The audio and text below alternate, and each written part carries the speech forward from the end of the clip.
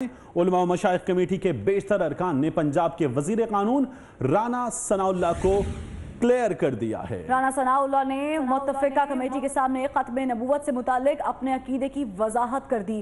کہا جو ختم نبوت کے عقیدے کو تسلیم نہ کرے وہ دائرہ اسلام سے خارج ہے۔ کمیٹی کے رکن غلام نظام الدین سیالوی کا کہنا ہے کہ علماء رانا ثناء اللہ کے عقیدے کے بارے میں ان کے سے مطمئن ہیں۔ رانا ثناء اللہ کے حوالے سے شکوک و شبہات دور ہو گئے ہیں۔ دربار سیال شریف کے ترجمان سید شمس الرحمن مشہدی نے اجلاس میں شرکت نہیں کی۔